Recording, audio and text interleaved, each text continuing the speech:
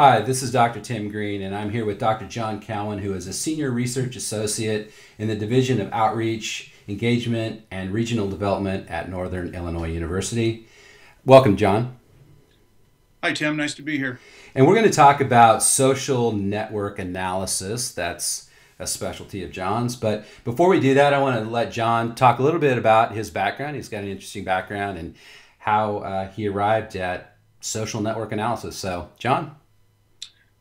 Tim, it's nice to be here with you today, and I appreciate the chance to talk about social network analysis. It's it's uh, it's an interesting field and area of uh, study for me.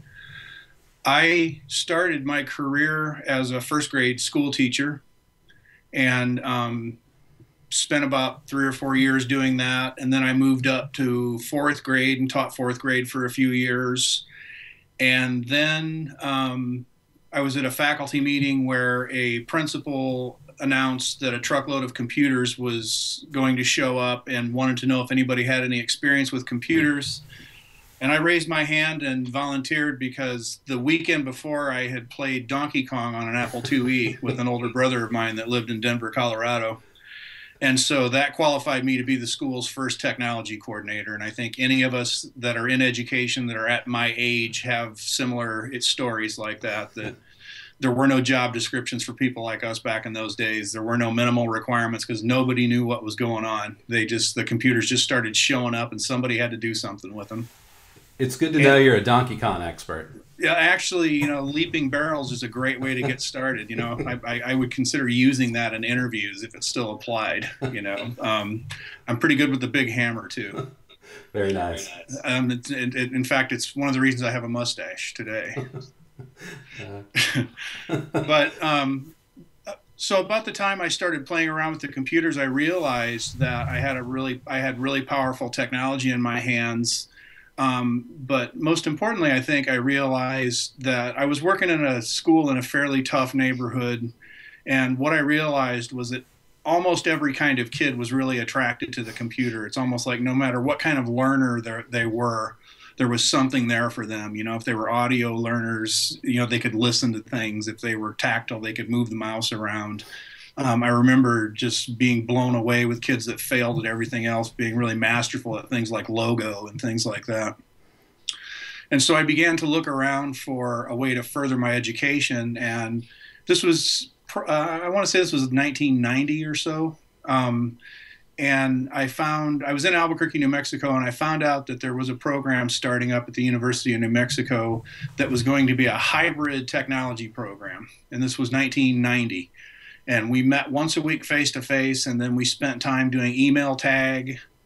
We had an online uh, kind of a phone system on an old VMS system where the screen would break up and people could type uh, and text back and forth um, but the most important experience I received during that program is that we were a cohort and we met face to face part of the time and did did the rest of the program online and it was an incredible learning experience for me and i made connections with people that i maintain to this day and so what i really became immersed in at that point was not just the technology but this notion of building community and the power of bringing people together face to face and um, getting them to get to know each other, have food together, talk, work on projects together, and then move online.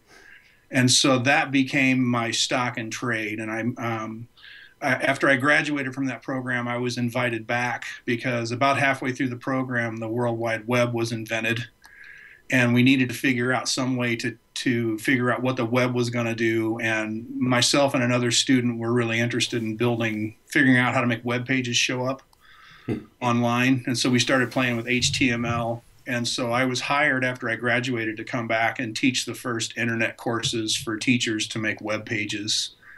Um, and I stayed at, I stayed there and and eventually moved to for my day job I moved to a big high school in downtown Albuquerque and I was the network administrator and staff developer and everything else related to technology um, for a high school for about seven years and at the end of that time I finished my doctorate and took a job at Sacramento State University working in a program called IMET which was the internet based master's in educational technology.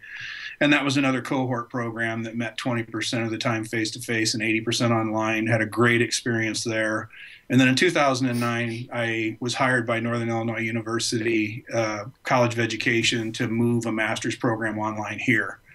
And um, it's just completed, um, I want to say it's fifth year and last year was ranked number one in the nation by U.S. News and World Report for online graduate education programs, and that and that ranking has a lot to do with with the quality of relationship that people have because of that hybrid sense of the the hybrid design, which allows a sense of connection and community, and that leads me into social network analysis. Excellent. Because when I was a um, when I was a school teacher, a first grade teacher and a fourth grade teacher and a high school teacher, I was I was very much into um, the social domain for the kids. I, I, wanted I wanted the kids to have a safe place to go to school. I wanted them to have friends. I wanted them to uh, learn collaboratively. And as the teacher, I could sit back in the room and I could look and I could see who was central to activity I could see who people sought out for advice. I could see who was isolated. And based upon what I saw, I could make adjustments. I could work on things to make the room a more balanced place for everybody. Um, and one of the things that happened was that when I moved online, I realized I'd lost some of that capacity. When I'm working with, you know, 24 students online, I didn't have that capacity to just stand back and visually watch and be kind of a fly on the wall with the activity. And so I, I had a pretty good sense, but I was looking for some method to um, capture relationships of students in, in online groups, and that led me to um, just conversations with people, with colleagues, that eventually led me to uh, looking into social network analysis. Excellent. So, which leads us really to our first question. I mean, okay. pretty. It's a straightforward one, but it's one that definitely uh, people are interested in. What is social network analysis? Um, I'm actually going to bring up a PowerPoint, uh, some slides to show you because part of the power, a great deal of the power of social network analysis is that it is um, very powerful visually. And so, what I'd like to do is bring up a, a presentation here. Uh, excellent. Yeah, and I uh, just for those uh, watching this, I'll have this actual PowerPoint presentation available on my website as well. So what you have in social network analysis is a way to measure and and um, describe the structure of a group of people who are interacting um, and John, look, not, don't want to interrupt you, but it didn't go up. Oh, I'm sorry. Let me make sure I'm sharing with you.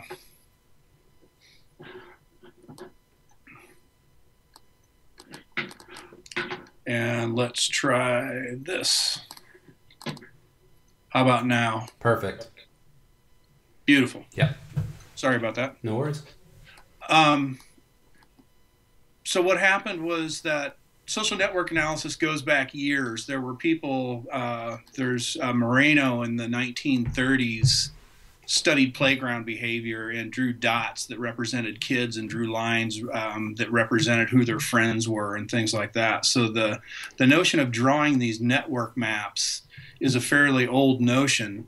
Um, more recently, what happened was that um, mathematics came into play and there were researchers, particularly at Harvard University, that began to apply graph theory and began to understand that there were structures, there were algorithms that could be applied that could really um, show the true structure of networks and allow people to predict behaviors and things in networks.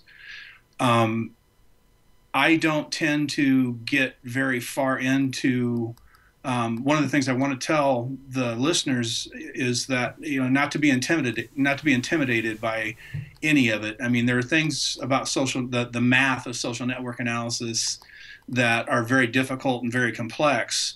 but I found it very simple to engage with initially. So it's one of those areas that you can get into um, very easily, and then it goes to infinite levels of complexity. And so it's not difficult to do basic problem solving um, with social network analysis. What you're looking at on the screen here are is a simple little social network diagram that has a number of features. And what you see mainly are squares um, and these can be dots. You know, those are things that you set up in the program how you want it to look. But essentially, dots represent individuals, and the lines represent the connections between individuals. And you'll note that the lines actually will have arrowheads at one side or the other. And what that indicates is that in, in this particular case, um, in the top right hand corner, there's a node, and there's a line going from that node over to the node um, to the left. And in this case, that the person in the top left, represented by this node, did a survey where they said they have some connection with that person to their left. Um, in this case, that connection was not reciprocated. So, in other words, um, person A chose person B, but person B did not cho- choose person A. So that's why you have a line with a single arrowhead. How this works is that um, really a very simple surveys go out, and the the based upon the questions you ask and how they're structured in the survey um, you'll get certain kinds of networks. And, and a very common one um, would be um, like a collaboration network. And so in my example here, um, it can say uh, a, a, question might say check the names of anyone on the list below with whom you have collaborated on a work related project and then what you have is a roster list of everybody that's in the organization and in my example, I have Mary and Ted and Bill and Jane. Okay. And so Mary and Ted and Bill and Jane all fill out this survey and they just put a check mark next to the person that they've interacted with.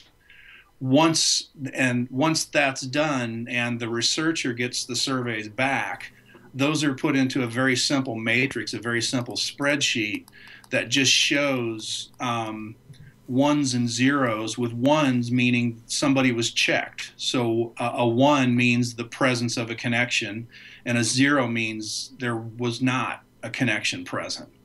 Okay, and so from the paper survey, you go back, you make your matrix, and then um, the program that I use is called UCINet. There are a number of programs out there.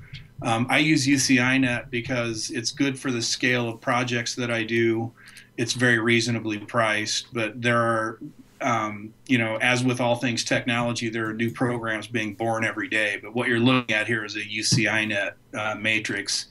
And then UCINet has, within UCINet, there's a program called NetDraw. And NetDraw takes the matrices and you pull the matrices up in NetDraw and it draws the diagrams for you. So what you have on this screen is the paper survey question the matrix that resulted from that survey. And then down on the bottom left, you've got the visual rendering of the network. And you can see that Mary and Jane are connected to each other. They selected each other as a collaborative contact. Bill chose Mary, Mary didn't choose Bill. That's that's a very basic how it works kind of a thing. Um, is that clear, Tim? Do you have any questions about that? No, that's that that's okay. clear. Okay the second thing that's very interesting to do is that in addition to the nodes and the connections, you can begin to bring in attributes.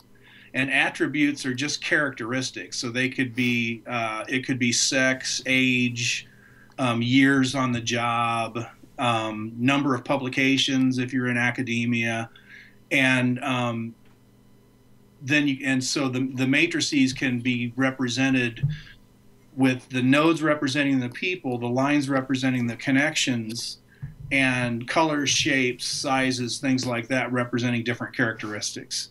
So if I wanted to see, in this case, I wanted to I wanted to look at these relationships by gender, and we can see here that Mary and Jane showed up in red, uh, and the uh, Bill and Ted showed up as blue, and that represents male versus female if you wanted to look at that for some reason. It's just that's just an example of an attribute.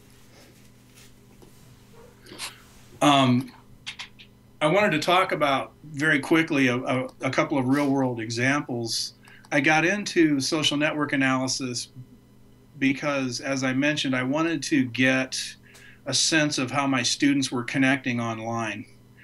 And right about the time that I was looking into it, I was at a holiday celebration with my brother, who is a professor um, in New Orleans, Louisiana. And after Katrina, after Hurricane Katrina hit, he was put on loan to the city of New Orleans to just try to help the mayor um, better the city of New Orleans. And as you can imagine, when that hurricane hit, it was it was a historical event where the infrastructure of a giant city was destroyed: schools, buses, police. It was all gone and there were groups of people that were working very hard to fill that void with positive things instead of instead of negative things. And he started an organization and we were just going for a walk. And he was saying you know what i really need is the it was coming up on the fifth year anniversary of the storm and the people that were providing funding to his organization wanted him to come to minneapolis to this think tank and do a and do a presentation that showed them how um, effective his organization was at bringing people together and connecting people together. And that gave me the motivation to help him, gave me the motivation to get over the hump in terms of learning some of the basic social network analysis stuff. And so what we did was um, we put out a survey to everybody in his organization that asked the question Who did you work with for the betterment of the city of New Orleans before Katrina? And who have you worked with since the storm for the betterment of the city of New Orleans? And what you're looking at here is one of the results. And so you can see here that pre Katrina, um, on the left, you can see that was the network of interactions between people. And on the right, you can see the interactions after the storm. And these are there are statistical measures for each one of these, so, so we can describe all these things. But essentially, it's very powerful visually. If you look and see that prior to Katrina, you had an interesting network that was pretty weak in terms of people working together for the betterment of the city, including a huge uh, subgroup of what we call isolates, which are people that are not connected to anybody. Okay, so these people, the dots that you see on the upper left hand corner of this pre Katrina diagram, these are people that are supposed to be collaborating and working for the betterment of the city, and they did not identify anybody that they were working with. And, and John, this was an or this the pre and the post. This shows the organization your brother was working in at the time. He, he founded this organization. Okay. And so this was done in retrospect. Okay. okay. So he was not around during the pre. Right in the middle, the storm hit. And then after the storm, he founded this organization. And so what people wanted to know was, you know, show me that you've got people connecting in a way they weren't connecting before. And so this is one just subgroup. I have about 17 different slides that I'd be happy to share with you if you if you want to see them.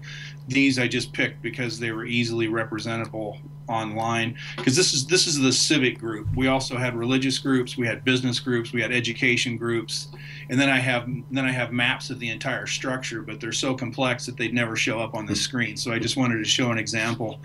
And um, there are some interesting things here. There's an interesting structure on the bottom left here. You can see this is something that we call a clique. And I don't know if you'll be able to see it. Maybe you can get the slides from Tim after the presentation, but it's an example of what they call a maximally complete subgroup.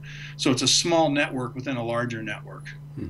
But what's interesting here is that it's a pendant by nature in that if one person disappears, then you'll get another group of three isolates.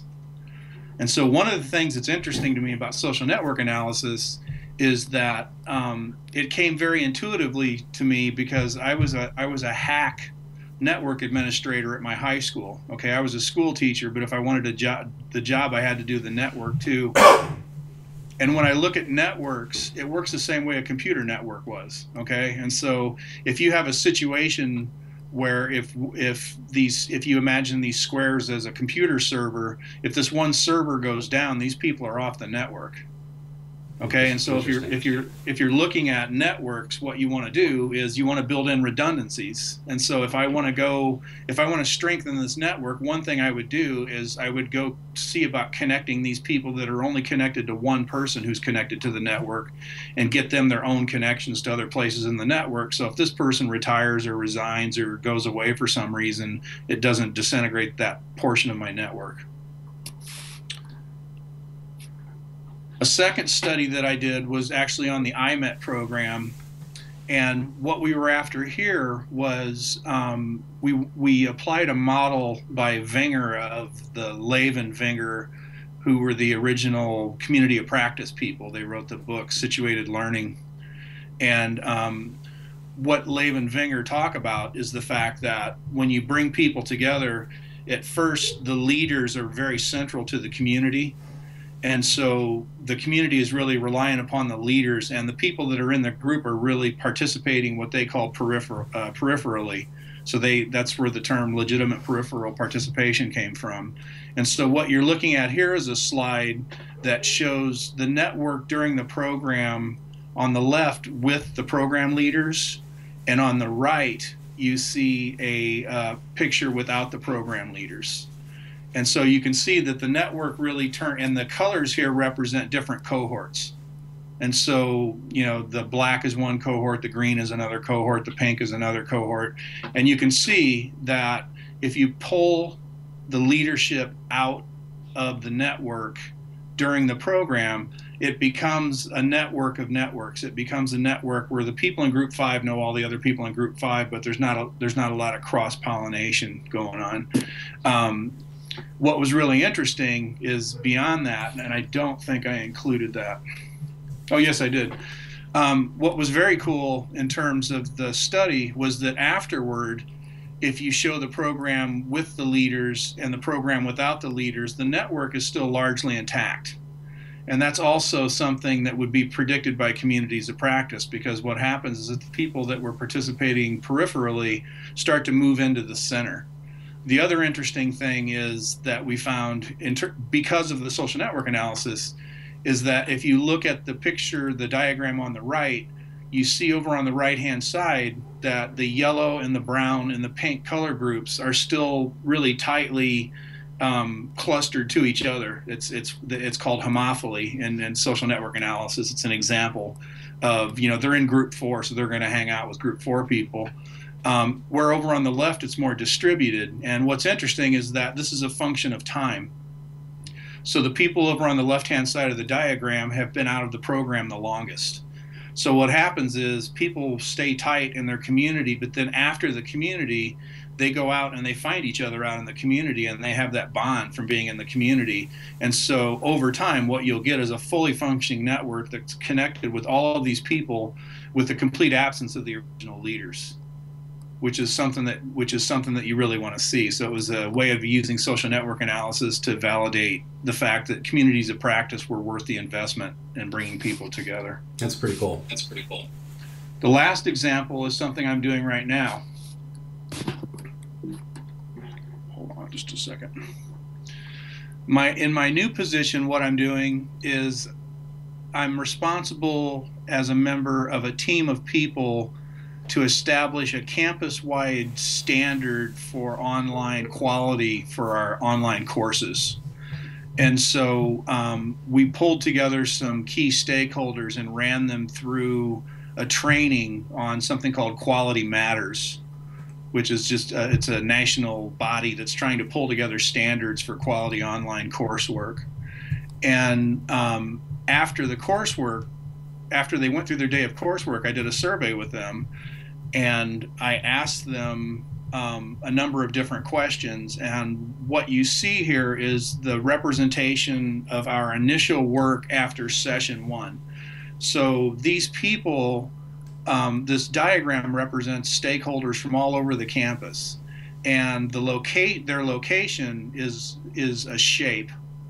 Okay, so if they're in a department, um, like the the green is a certain like green might be faculty development red might be the college of engineering um, the size uh, their role in the institution is designated by a number. So if they're a dean, they're one number. If they're a, if they're a faculty developer, they're another number. Their expertise is the size, and their and their interest in helping us with this project is represented by color. So what I have here is a network, and if you and if the if the if the node is green, that means that they're on board with us and they're ready to move forward with us. If it's yellow, they're hesitant, they have more questions, or they're not quite sure. And if they're red, um, they're not interested for some reason or another. And it, that's and one thing about the network analysis is it just is what it is. So you can't, I, I can't apply, I can't apply a, an overt amount of meaning to like I have a giant red dot there that's got a lot of people connected to them who are not interested in proceeding. What I would do with this information is use it to go talk to that person and find out why they're a big red dot. You know, they're, you're you're a big dot on my map, and it would be great for me if you would turn green because everybody cares about what you think because you can see there's a ton of uh, arrows coming in at that guy. And so as I move, and so what I've done with this information is, is I've taken it back to the team, and I've said, okay, here are the results. And um, based upon this, you know, let's have a discussion. And then what happens is the social network analysts call it a social, they call it an ethnographic sandwich. You have to go in, get to know people, do your survey, you have to do the social network analysis that's the meat. And then the other bun is going back afterward and saying this is what i came up with can you help me make sense of this? Hey so john can i ask a question about sure. how you arrived at how you arrived at this? Uh, did you do like you showed in a previous slide that a type of surveys that that's what it was. Yeah they did a they did a paper survey. Okay. And um, there were i had um, I think there were six, five or six different ways they could choose to be involved in the process moving forward. And what you do is you establish the context. There, there, are a lot of things that you have to establish, and you just have to explain when you're doing the analysis. One thing is the boundary of the community. You know, like if you're doing a particular study, how do, how do you cut it off at a certain point? You just have to explain those things. What I did was, if everybody if somebody showed an interest in one thing or the other, they were green. If somebody showed hesitation in one way or another, they were yellow. And if somebody, and if they were, and if there were no green or no yellow, if if it, if it was all no or I need more questions or if it, it was, um, they they would be your red, and and that and that would mean just the what this really indicates is areas for concern you know? And so we have we have people that are ready to roll forward with us. We have people that are on the fence and we have people that we've got some work to do to get them on board based upon this. And then the connections part of that was done by people. How, how did you go about the connections part? What the the connections was a very typical social network analysis. It was just a roster list that asked them um, i did three different things you're looking at one network here this is a worked with in the past i did a who have you worked with I also did who would you seek advice from? Because that's another pretty typical social network analysis thing to show power of people in a network. And so this is who have you worked with? And so if you look at the ones in the center, um, the large figures in the center, um, those tended to be uh, people in our faculty development departments and our e-learning departments who do a lot of service with people helping them do things. But then it's also but then there are also other interesting things. Like if you look over on the right hand side of the diagram there are people there with a lot of incoming connections with no experience. And so they have some other kind of influence. Okay because some of the questions the the the size the expertise is size and the expertise is an attribute and the and the attribute of size on the survey was i have no experience teaching online I have zero to two. T, uh, I have one to two years. I have three to five years. I have five plus, ten plus, etc. And so another interesting thing about this network is we have some people with no experience who have a lot of influence, and right now they're red. So even though they don't have a lot of expertise teaching online, um, they're not. There's going to be a lot of people listening to them is what this looks like. So we, mm. and, and, again, you don't you don't want to over rely on just this one measure. You want to take it and use it to get more information. It helps you ask the next next set of questions. Sure. Cool. And I and um, I think that's about it. I'm going to put this up on the slide, uh, the last slide here. There is a um, uh, Hanneman uh, wrote a textbook. Hanneman and Riddle wrote an ebook on social network analysis. It's really good. It's really great, and um, uses the UCINet program that I that I talked about using, and um, it's available for free at this link. So you can go get the whole book, and it talks about nodes, and it goes from very simple to very complex. Really wonderful ebook that they just put out there for anybody to have. Yeah, that's cool. Excellent. Yeah, and I again, I'll share uh, John's slides, and I'll also put the link to that directly into that. Cool. That's thanks for that's a great explanation of social network. I'm sure you could talk, you could probably talk for days on that, but that was a great overview. Great overview, and and I like the examples that you gave. You made it real with uh, the work that you've done. Thank you. So uh, I have a couple more questions. So uh, if you were to, you know, talk about the importance of social network, and you've kind of talked about this already. I mean, you, you have, but I just kind of want to go back to it. Uh, you know, and don't mean to be crass about it, but why should we care if we're an instructional designer or we're an educator you know we're in the field of educational technology why why should we care about social network analysis well i think the um, i think the real answer to that in my mind um, is that well there's I, I, have, I have a personal response and a professional response to that. It, just intuitively um, i feel and i think one supports the other but i feel like we're at a phase where if you if you look at things like singularity if you look at things like the rate of innovation um, accelerating in this part of the century um, i think the real hope that we have for positive outcomes is our connectedness to other people so I think relationships matter a lot. I think I think who you know is is is is extremely important. And I think that understanding whether or not people that you're working with, like your students, if you've got a group of online students, um, and uh, you know, if what good teacher would want to have a student feeling isolated in a group? You know, I, I think it just I think I think how people are connected is going to be a really important thing, and who they're connected to is going to be absolutely critical as we move forward. And I think the work that I've done, the research work that I've done so far, has borne out the fact that any investment that I have ever convinced a program to make in face-to-face time, bringing people together to get to know each other, has always uh, been well worth it. It's always been it's always been worth the time and money spent to make that happen. What's interesting about that, though, is that that's counterintuitive to people coming in. So, for instance, in the IMET program, um, I left there.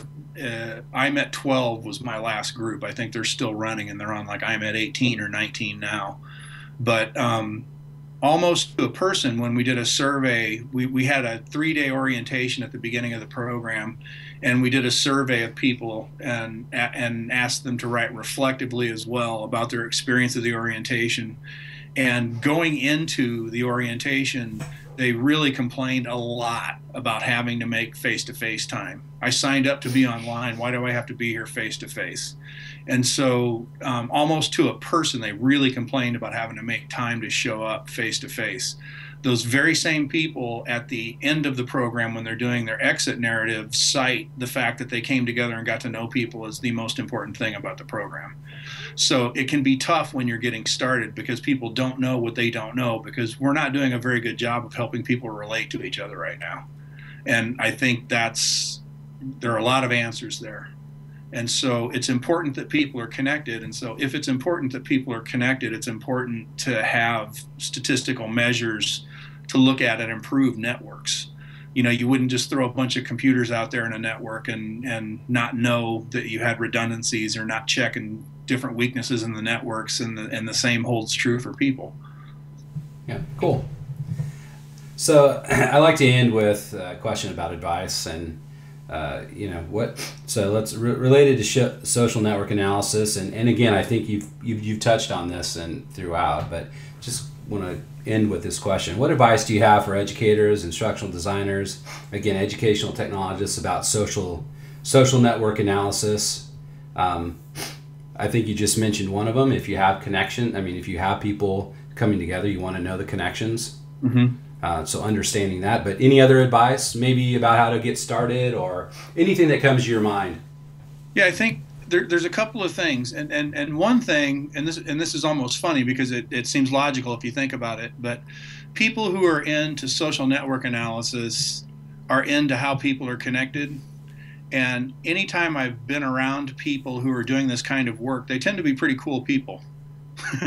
they're relational, right? And so they're easy to sit down and have a cup of coffee with. And so I went as I went as a as as basically a nobody in the field to the International Social Network Analysis uh, Convention, and was brought into little networks of different things and invited to go to things and and um, and so it's it's it's a relational group of people that I've run into so far. Um, there is a group uh, there there's a department at the University of Kentucky in the Gatton School of Economics where they have they have an entire sub department that are social network analysts, and they run a camp that you can go to.